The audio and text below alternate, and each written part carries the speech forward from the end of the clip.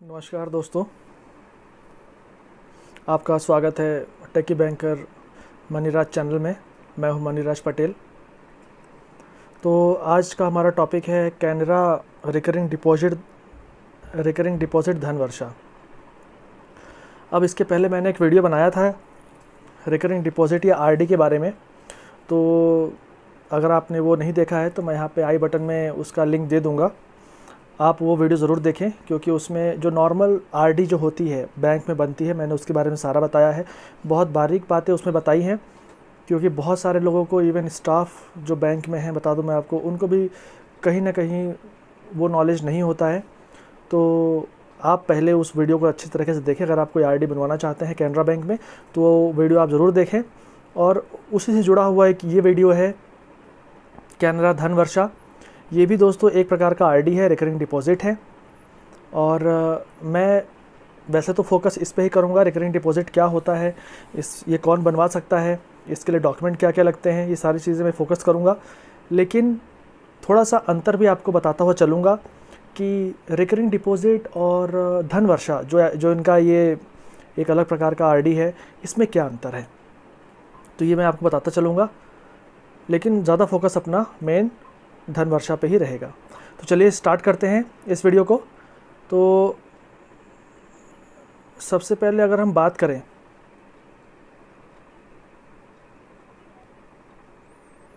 Recurring deposit की धन वर्षा की तो दोस्तों, नाम है देखिए धन वर्षा नाम से आप थोड़ा समझिए धन वर्षा क्यों लिखा गया है? क्योंकि यहाँ पे जो नॉर्मल आरडी होती है, उससे थोड़ा सा आपको ज़्यादा फीचर्स यहाँ देखने को मिलते हैं। है आर ही, लेकिन थोड़ा फीचर्स आपको ज़्यादा देखने को मिलते हैं। अभी बात करें कि इसमें डॉक्यूमेंट क्या क्या लगते हैं इसको खुलवाने में तो एक तो एप्लीकेशन फॉर्म लगेगा, जो कि आपको बैंक से मिल जाएगा। दूसरा, आपका पैन कार्ड का फ़ोटोकॉपी और ओरिजिनल वो देखेंगे। और अगर आपका पैन कार्ड नहीं है तो फॉर्म सिक्सटी या फॉर्म सिक्सटी वन ये सिंगल पेज के होते हैं। या आपको ब्रांच में जाएँगे तो वो आपसे भरवा लेंगे। ठीक है? और दो पासपोर्ट साइज़ फ़ोटो लगेंगी। ये तो हो गया इंडिविजुअल के लिए जॉइंट अकाउंट के लिए। लेकिन अगर चूँकि ये बहुत सारे लोग खुलवा सकते हैं, कंपनियाँ खुलवा सकती हैं ट्रस्ट खुलवा सकती हैं तो अगर आप इंडिविजुअल या फिर जॉइंट अकाउंट के अलावा कोई हैं, कोई कंपनी है, कोई दुकान है आप आपके, आप प्रोप्राइटर हैं, आप पार्टनर पार्टनर हैं तो उसके लिए जो उस दुकान के डॉक्यूमेंट है, जैसे मान लीजिए प्रोपाइटर है तो आपका गुमास्ता हो गया कंपनी है तो आपका उसका कोई डॉक्यूमेंट हो गया, वो भी एक्स्ट्रा जो है डॉक्यूमेंट लगेगा।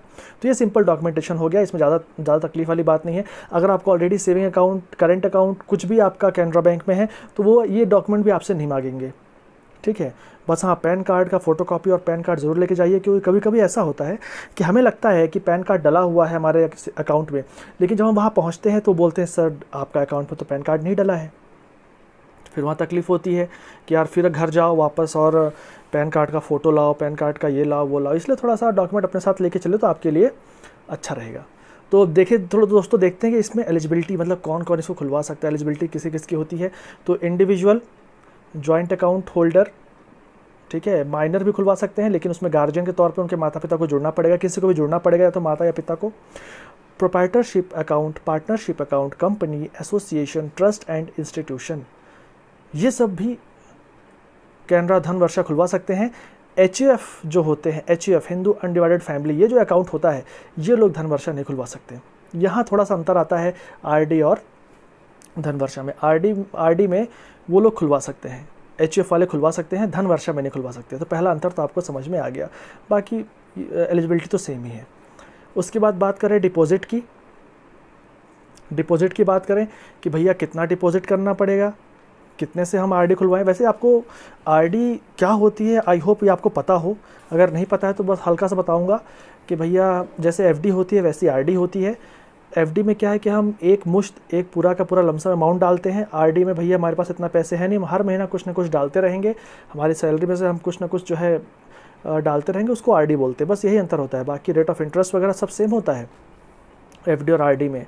इवन धन वर्षा में और जो नॉर्मल आरडी होती है, उसमें भी रेट ऑफ़ इंटरेस्ट सेम होता है, ठीक है? उससे आप कन्फ्यूज़ ना हो।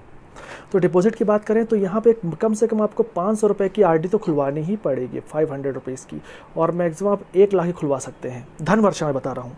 और यही अगर आप देखें नॉर्मल आरडी में तो वहाँ पे पचास रुपये सोचिए, पचास रुपये से आप आर स्टार्ट कर सकते हैं, नॉर्मल आर और मैं लिमिट, मैक्सिमम की तो कोई लिमिट ही नहीं है वहाँ पे, लेकिन यहाँ पे लिमिट लगाई गई है। बताऊँगा मैं आगे क्यों? इसके पीछे भी कारण है। ठीक है? अब देखिए, पीरियड भाई कितने समय के लिए खुलवा सकते हैं? तो इसका है कि मिनिमम एक साल के लिए भैया आपको खुलवाना पड़ेगा। आप जाओगे, ब्रांच बोलोगे, साहब, मुझे धन वर्षा धन वर्षा आर खुलवानी है छः महीने के लिए बना कर देंगे। कि नहीं सर, कम से कम एक साल के लिए तो खुलवाना ही पड़ेगा। एक साल के लिए खुलवाइए मतलब बारह महीने के लिए खुलवाइए। ठीक है? और मैक्सिमम आप दस साल के लिए खुलवा सकते हैं 120 महीने के लिए। नॉर्मल आरडी खुलवाएँगे तो वहाँ पे जो है, एक साल मिनिमम नहीं है, वहाँ पे छः महीने मिनिमम है। छः महीने मिनिमम वहाँ पे खुलवाना पड़ेगा छः महीने के लिए, यहाँ पे एक साल के लिए ये अंतर है दोनों में, मैक्सिमम दोनों का सेम है। आई होप आपको समझ में आ रहा होगा। फिर स्पेशल फीचर की बात करें, स्पेशल फीचर्स क्या क्या हैं इसमें? तो अब यहाँ पे दोस्तों अंतर आता है एक आरडी और एक धन वर्षा में, ठीक है? अब इसको समझिएगा। तो यहाँ पे क्या है दोस्तों कि जो आपका महीने का इंस्टॉलमेंट या प्रीमियम जाएगा, वो तो जाएगा ही, जैसे नॉर्मल आरडी में जाता है।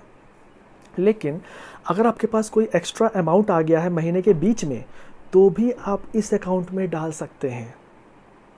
समझ में आ रहा है आपको? मतलब मान लीजिए अगर आपने एक हज़ार की आईडी खुलवाई, अब आपके पास पाँच सौ रुपये और उस महीने के बीच में आ गए हैं तो आप जाइए और इस अकाउंट में, इस पर्टिकुलर अकाउंट पे आप डाल के आ जाइए। वो भी तब भी हो जाएगा काम। लेकिन नॉर्मल आर में आप ऐसा नहीं कर सकते। नॉर्मल आरडी में भैया, अगर आपने पहली बार फॉर्म भर दिया कि भैया, हमको एक हज़ार की आर खुलवानी है तो बीच में आप उसको नहीं बदल सकते। वो आखिर तक वही चलेगा। लेकिन धन वर्षा, धन की वर्षा मतलब जो चल रहा था, उसके अलावा भी आप डाल सकते हैं इसमें। इसलिए यहाँ पे इसको धन वर्षा बोला। क्योंकि आप जितना डालेंगे, उतना आपको इंटरेस्ट मिलेगा। धन की वर्षा होगी, उस हिसाब से समझिए। फिर और क्या इस दोस्तों है इसमें? कि भाई बीच में तो डाल सकते हैं, ठीक है? और आप बीच में कितनी बार भी डाल सकते हैं। ऐसा नहीं कि एक बार, दो बार, तीन बार, कितनी बार भी आप इसमें डालिए। पैसे डालिए, कितनी बार भी डालिए, कोई दिक्कत नहीं है, ठीक है? और इसमें क्या है बस आपको एक बात का ध्यान देना पड़ेगा दोस्तों, कि जैसे मान लीजिए अगर आपने एक हज़ार की आईडी खुलवाई, अब एक हज़ार की आईडी के बाद आपने बीच में, महीने के बीच में एक हज़ार रुपये और डाल दिए, ठीक है? तो अब अब आपको क्या लगेगा कि यार अगले महीने का भी मैंने डाल दिया है अगले महीने का मैंने डाल दिया है, अब मैं अगले महीने डालने नहीं जाऊँगा। नहीं, यहाँ पर ऐसा नहीं चलेगा। यहाँ पर आर का आपने जो डाला है, जिस तारीख को आरडी खुली है, सॉरी, धनवर्षा खुला है, आपने अमाउंट अगर डाल दिया है तो उतना ही अमाउंट आपको अगले महीने उसी तारीख को डालना पड़ेगा। अगर आपने बीच में उतना ही अमाउंट डाला है तो उसको ये मत सोचिएगा कि कंप्यूटर उसको अगले महीने का कंसिडर करेगा। नहीं प्री पेमेंट जो है, आपने जो किया है, वो कंसिडर नहीं किया जाएगा फ्यूचर इंस्टॉलमेंट के लिए धनवर्षा में। ये आप समझिए इस चीज़ को। कि आपने जो प्री पेमेंट कर दिया है, उसको आप ये ना समझे कि भैया वो फ्यूचर इंस्टॉलमेंट भी पे हो गया है। ऐसा नहीं है धनवर्षा में, ठीक है?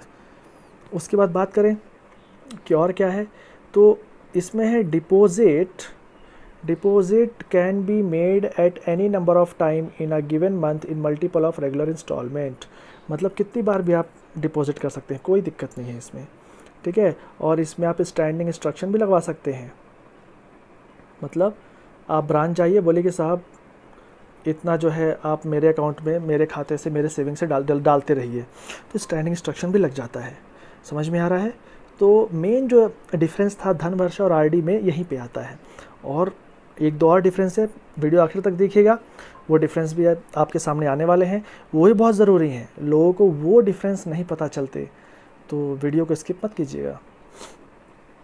बात करें रेट ऑफ़ इंटरेस्ट की। कि रेट ऑफ़ इंटरेस्ट क्या है? तो दोस्तों, जो नॉर्मल आरडी में आपको रेट ऑफ़ इंटरेस्ट मिलेगा, वो भी यहीं मिलेगा। फिर आपको लगेगा हम नॉर्मल आरडी क्यों ना खुलवाएँ? हम हम धनवर्षा क्यों खुलवाएँ? तो दोस्तों, धनवर्षा में आपको ऑप्शन है ना फ्लेक्सिबिलिटी है फ्लेक्सिबिलिटी है। आप, बीच में भी पैसे डाल सकते हैं इसमें एक्स्ट्रा जो आपके पास आए हुए हैं। नॉर्मल आरडी में आप नहीं डाल सकते। ये अंतर आ रहा है यहाँ पे। इस चीज़ को समझिए आप। ठीक है? उसके बाद बात करें इंटरेस्ट एप्लीकेशन इंटरेस्ट भैया ब्याज कितना मिलेगा? तो इंटरेस्ट एप्लीकेशन में अब इसमें देखिए इसमें क्या है कि आप जो नॉर्मल इंस्टॉलमेंट डाल रहे हैं हर महीना उसमें तो जैसे आरडी में इंस्टॉल आपको इंटरेस्ट मिलता है कंपाउंड इंटरेस्ट वैसे यहाँ भी मिलेगा ठीक है? लेकिन जो आपने बीच में पैसे डाले हैं बीच में जो आपने बीच बीच में पैसे डाले हैं उसके लिए क्या होगा? जो आपने टॉपअप डाला है वो डेली बेसिस पे वो कैल, उसका कैलकुलेशन होगा। ये बहुत बारीक वाली बात है ये बहुत लोगों को पता नहीं होता है। कि आपने जो बीच में पैसे डाले हैं, वो डेली बेसिस पे कैलकुलेशन होगा उसका। और जो शुरुआत में आपने हर, जो आप हर महीने डाल रहे हैं, उसका तो भाई नॉर्मल आरडी की तरह कैलकुलेशन होगा। ठीक है? तो ये इंटरेस्ट एप्लीकेशन आपको समझना चाहिए। उसके बाद बात करें special rate for senior citizen भैया, जो साठ साल या उसके ऊपर हैं, उनके लिए क्या कुछ फैसिलिटी है क्या? जैसे आर में फैसिलिटी है, वैसे यहाँ फैसिलिटी है। आरडी में पॉइंट फाइव परसेंट ज़्यादा मिलता है, यहाँ भी पॉइंट फाइव परसेंट उनको ज़्यादा मिल रहा है। लेकिन थोड़ा सा अंतर है। वहाँ पे क्या है कि आप अगर पचास रुपये का भी कोई आर खुलवाते हैं, ठीक है, और छः महीना, वहाँ तो कम से कम छः महीना है ही छः महीने कम से कम वहाँ पे खोलना पड़ेगा आर के लिए तो वहाँ पे कोई ऐसी लिमिट नहीं है कि मतलब पॉइंट फाइव परसेंट तो मिलेगा, लेकिन आप एक साल खुलवाएँ छः महीने खुलवाएँ, कोई दिक्कत नहीं। लेकिन यहाँ पे क्या है कि पॉइंट फाइव परसेंट ज़्यादा तो मिलेगा, लेकिन उन्हीं को ज़्यादा मिलेगा जो for deposit with tenor of 180 days and above मतलब आ, वैसे तो यहाँ पे एक साल का है कि एक साल एक साल जो है एक साल कम से कम आपको आपको खोलना पड़ेगा लेकिन एक साल में भी छः महीना छः महीने के ऊपर जब हो जाएगा उस सीनियर सिटीज़न को तो ही पॉइंट फाइव परसेंट यहाँ मिलेगा।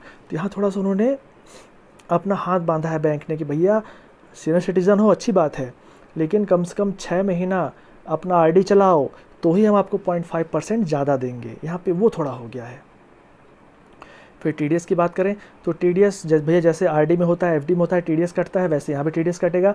टीडीएस से बचना है तो क्या करना चाहिए दोस्तों? बताइए। कमेंट में ज़रूर बताइए टीडीएस से बचने के लिए क्या करना चाहिए? मैं नहीं बताऊँगा। ये मैंने आर वाले वीडियो में बता बता दिया है। अगर आपको जानना है कि टीडीएस से कैसे बचें, क्या फॉर्म भरें तो वीडियो ज़रूर देखें। अगर आपको पता है तो कमेंट बॉक्स में बताएँ कि किस तरीके से हम, अगर हम चाहते हैं कि टीडीएस ना कटे तो हमें क्या करना चाहिए? अगर आपको पता है तो कमेंट बॉक्स में बताइएगा, ठीक है? फिर बात करते हैं नॉमिनेशन फैसिलिटी की। तो आप जानते हैं नॉमिनेशन फैसिलिटी भैया सब में होती है आरडी एफडी सेविंग सब में नॉमिनेशन फैसिलिटी होती है। यहाँ भी नॉमिनेशन फैसिलिटी है, यहाँ इवन आप माइनर को भी नॉमिनी बना सकते हैं। लेकिन गार्जियन के तौर पे किसी और को उसके साथ रखना पड़ेगा। तो यहाँ पे वाली बात है, ठीक है? लोन फैसिलिटी दोस्तों, ये बहुत इंपॉर्टेंट पॉइंट है। जैसे वहाँ इंपॉर्टेंट था, वैसे यहाँ पे भी इंपॉर्टेंट है। मतलब अगर आपने कोई धन वर्षा आर खुलवाई है तो आप उसके ऊपर लोन ले सकते हैं। सोचिए, कितना अजीब है कि आपने आईडी खुलवाई है तो आपको आईडी तोड़ने की ज़रूरत नहीं है, आपको धनवर्षा तोड़ने की ज़रूरत नहीं है। आप उस पर लोन लीजिए बैंक ही आपको लोन देगा, आधे घंटे में लोन मिल जाएगा, कोई ज़्यादा लिखा पढ़ी नहीं होती उसमें।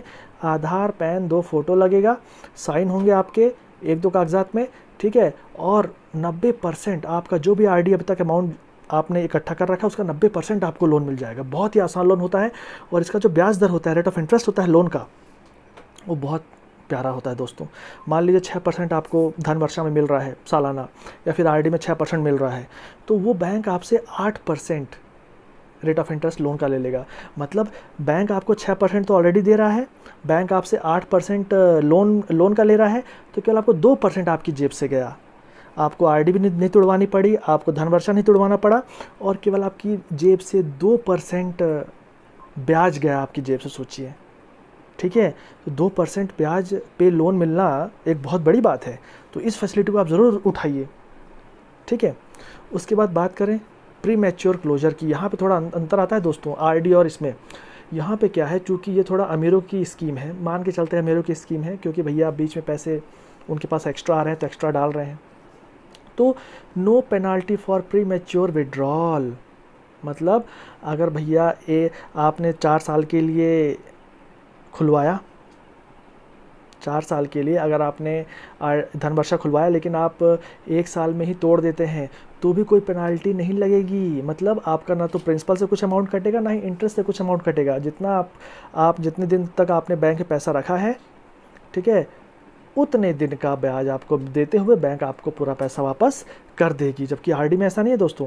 आरडी में वन परसेंट की पेनाल्टी है। वहाँ पे वन परसेंट की पेनाल्टी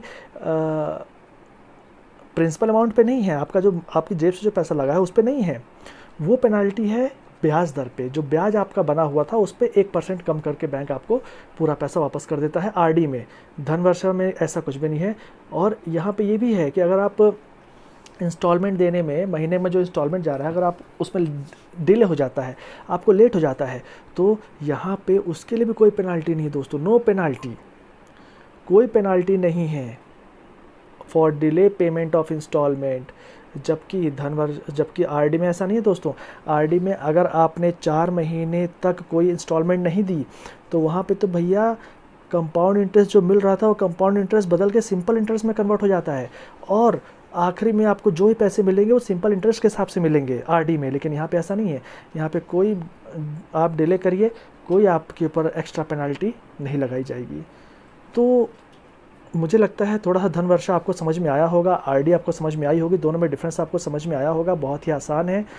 और आजकल तो ब्रांच जाने की ज़रूरत नहीं है। अब तो कैनरा बैंक के नेट बैंकिंग है मोबाइल बैंकिंग वो सब इस्तेमाल करिए। मैंने कितने सारे उसमें वीडियो बना रखे हैं एप्लीकेशन के नेट बैंकिंग के, वो सब देखिए। और मैं अभी कुछ दिन बाद इसके बाद आरडी और धनवर्षा आपको बना के दिखाऊँगा Canara A I one application से। दो मिनट का काम है, फटाफट बन जाता है ब्रांच जाने की ज़रूरत नहीं है। इवन जब उसको तोड़ने की बारी आएगी तो आप घर बैठे तोड़ भी सकते हैं। ठीक है, क्योंकि आपने घर बैठे बनाया तो घर बैठे आप तोड़ भी सकते हैं। ब्रांच जाने की ज़रूरत नहीं है भैया, आजकल के आजकल टाइम किसके पास है ब्रांच जाने का? ठीक है तो ये था कैनरा धनवर्षा आई होप आपको समझ में आया होगा। ठीक है अगर मान लीजिए कुछ इसमें से आपको और जानकारी चाहिए तो आप कमेंट बॉक्स में मुझे बताइए, मैं आपका रिप्लाई करूँगा। और बैंकिंग से जुड़ी हुई मैं ऐसी ही और वीडियोस लाता रहता हूँ तो मेरे चैनल को सब्सक्राइब कर लें। अगर आप पहली बार मेरे चैनल पे आए हैं तो सब्सक्राइब कर लें। ठीक है, चलिए।